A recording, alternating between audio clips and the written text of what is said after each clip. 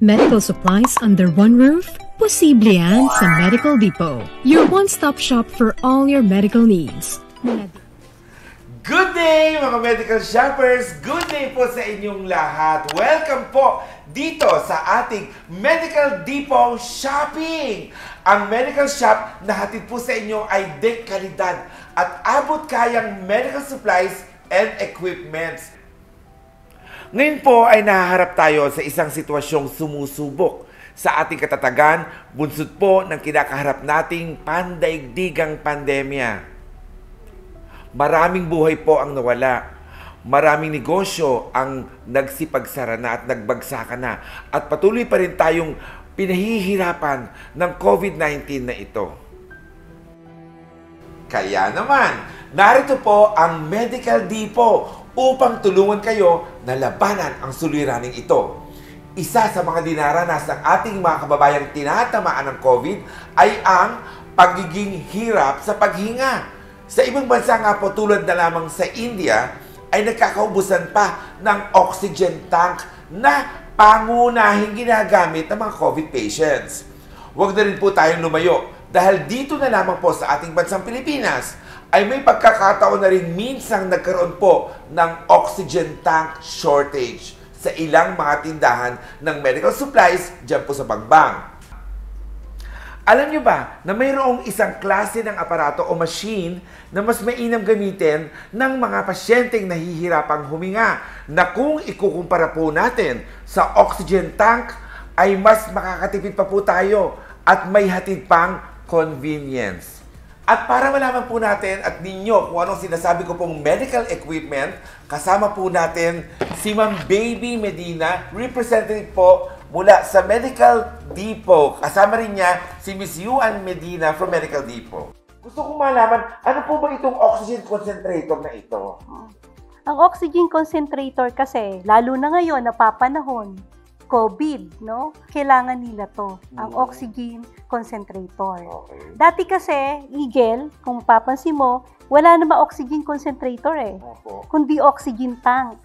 Ibig mo sabihin, Ma'am Baby, yung oxygen tank ay parang itong oxygen concentrator. Yes, tama ka ron, Eagle. Oh. Oo. Kaya may mga iba't ibang size yun. Mhm. May 50 pounds, 20 pounds, 15 pounds, 5 pounds, no? Mhm. na napaka-hassle kapag ka oxygen tank ba, sabi mo, kailangan kasi sasabihin ng doktor, o one day, kailangan naka-oxygen ka. Kailangan dire-diretso ka naka-oxygen. Ang nangyayari tuloy, i-refill mo yung oxygen kada maubos sa bigat ng oxygen. At hindi lang yun, Eagle, ha? Mabigat na kung paano i-refill mo, iuwi sa bahay, dadalhin doon sa pagre-refillan, mabigat na yun, di ba? Mabigat din ang refill. Oh. Oh. Kasi pag naubos yung oxygen tank, i-refill mo yon. Oo. No? Kapag 50 pounds, 400 pesos ang isang refill nun. Oh. So, ang 400 pesos, isang araw lang yung gagamitin. Isang araw na O kapag ka, yes, tama. Kapag ka ang kailangan ng pasyente, dire-diretso ang gamit sa oxygen tank, isang araw lang yung 50 pounds. Mm. Oh. Let's say 400 pesos isang araw. Mhm. Sa isang sa 10 days, 4,000 pesos. Oo. Eh kung gagamitin mo na isang taon o dalawang taon, magkano abutin doon. di ba? Mahal. Kaya inilabas itong oxygen concentrator. Paano po ba natin gagamitin ang oxygen concentrator? Ang oxygen concentrator po natin, napakadaling gamitin. Very easy to use and very convenient po. Bakit? Isasaksak lang po natin ito sa kuryente Mhm. para mapagana natin. At meron po siyang on and off button dito sa likod. At the same time, very convenient po siya dahil may remote control po tayo. At touchscreen na rin po siya. As you can see, this concentrator po, iba ang kanyang interior. Pwede siyang oxygen concentrator at meron siyang nebulizer. Two-in-one po ang product na ito. Tsaka parang digital na napapansin ko sa Yes. kanya. Makikita niyo kung gaano ang purity na nakukuha na ng pasyente natin sa oxygen. Kagaya po nito, kung maglalagay tayo ng at least at least 5 liters po dito sa oxygen natin, na- nakikita niyo po yan, ang purity niya is 95%. At the same time, pwede din po natin siyang lagyan ng timer. Kung gusto natin, gamitin ng pasyente natin within 30 minutes, pwede po natin i-adjust yan. At the same time, meron din po siyang intelligent voice. Mm, yung nagsasalitang isa pang tao, kala ko may tao sa loob. Yes po. may intelligent voice pala.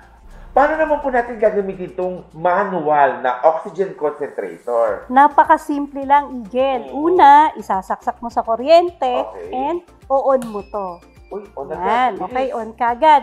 Pag nakikita nyo yung naka-on na yan, lumalabas na rin yung purity niya. Mhm. Ibig sabihin, kaya purity, pinakikita niya kung ano yung nilabas na hangin ng oxygen tank, eh ganun din ang nilabas na hangin ng oxygen concentrator. Pareho Parehas. ang purity na nilalabas nila. Tama. O, parehas ang purity ng nilalabas ng oxygen tank at saka oxygen Eh, ano naman concentrator. po itong tubig Ah. na sa gilid na ito? Ayan. Ito naman tubig na to. Bakit may ganyan tubig, no? Kasi, kay, itong oxygen concentrator, kapag mapapansin nyo, kapag nasobrahan yung tubig sa paglagay nito, kailangan kasi lumabas yung hangin na malinis eh. Yun malinis na, yan, tama. Malinis na at malamig pag lumalabas na may gantong tubig. Okay. Ngayon, wag naman susobra ang tubig. May Bakit? limit naman yan. Yes, tama, may limito. Kapag sumobra kasi ang tubig, minsan ang tendency, nagkakasipon ng pasyente.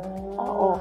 Pagka naman konti ang tubig, ang nangyayari naman, eh, yung pasyente, hindi malamig ang naibubuga nito sa Ah, pasyente. so dapat talaga sundin Kailangan yung talaga level. yung level. Okay. Anong klase tubig po yung nilalagay dyan? Ah, kahit na yung mineral water, Mm. pwede rito. Basta malinis na tubig. Tapos Ah. kailan po ito pinapalitan? Actually, dapat everyday palitan. Oh. Hugasan muna siya, tapos palitan ng tubig. No? Kailangan malaman ninyo to kasi bakit? May iba kasi bibili ng concentrator, pero hindi niya alam gamitin. Kaya nangyayari, hindi nagagamit ng tama. No? So, kailangan sundin lang yan.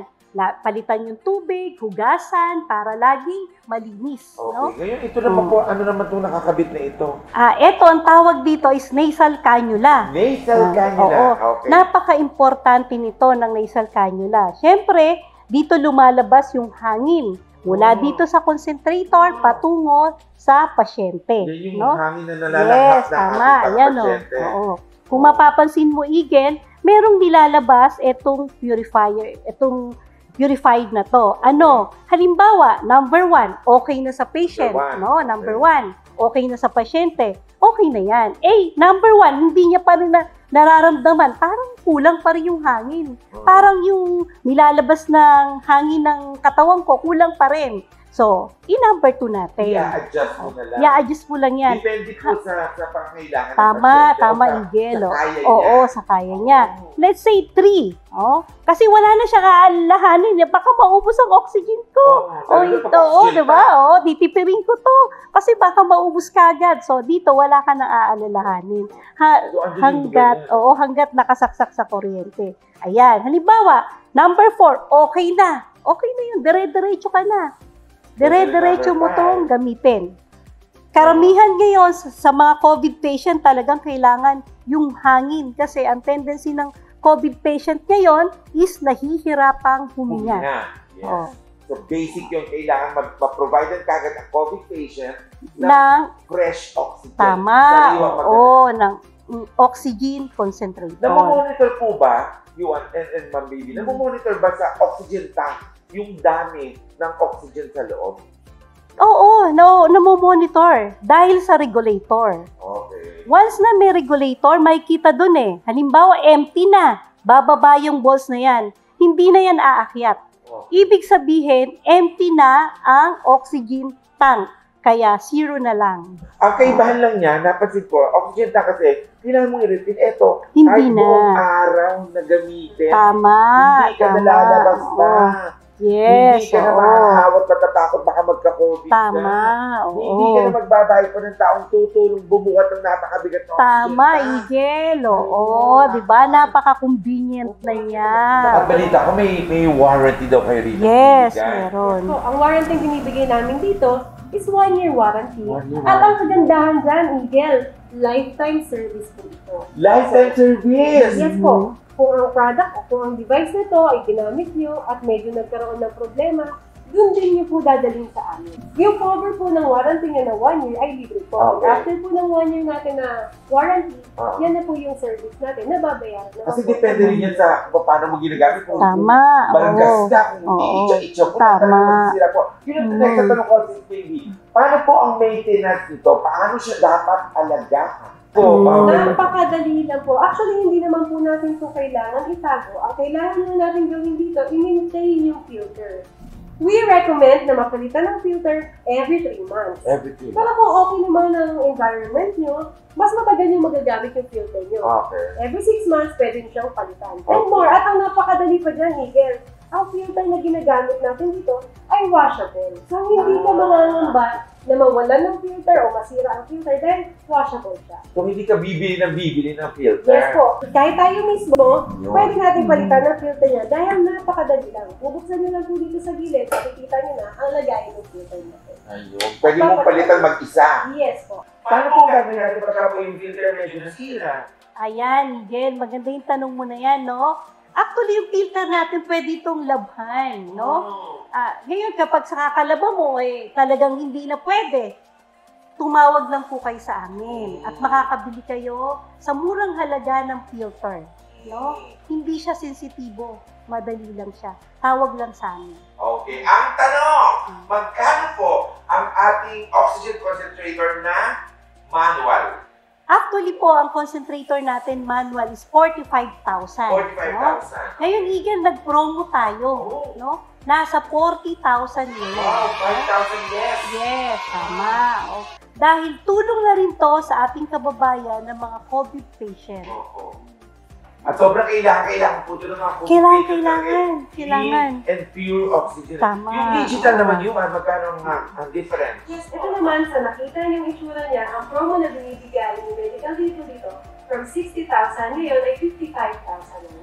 At saka gusto ko lang i-reiterate po sa inyo lahat, ang advantage po nito sa mga oxygen tanks po natin, again, uulitin natin sa baby, ha? Mm. Yung oxygen tank po, i-refill ninyo, bubuhatin ninyo, Tama. lalabas kayo para kumuha para pa-refill. Mm. Ito po, nandito lang sa tabi ninyo, katabi lang ninyo, Tama. easy to operate. Yes, Hindi po nauubos ang oxygen niya. tama. Unlike oxygen tank, nauubos po yan.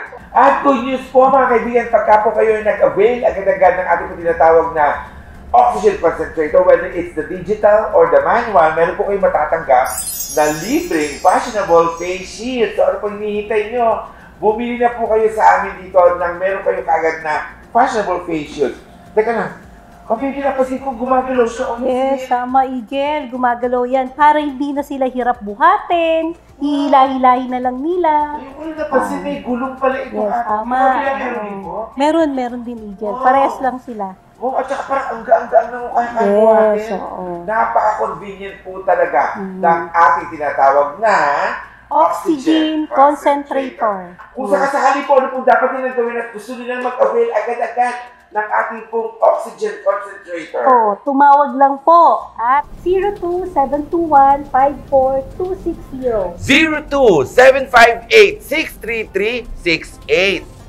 At may cellphone number din, 0917-1137690. Meron din tayong 0917-157-2608 and the last one, 0919-0987-207. Okay. Ang ating pong ah, website, meron din po dyan. Kung gusto niyo po pumunta sa website namin, that's www.medicaldepot.com.ph. Nandun po lahat po ng mga gusto nyong malaman about our store. At syempre, may FB page din po tayo. And that is Medical Depot na sa Facebook po. Syempre, may Instagram din po tayo, Medical Depot PH.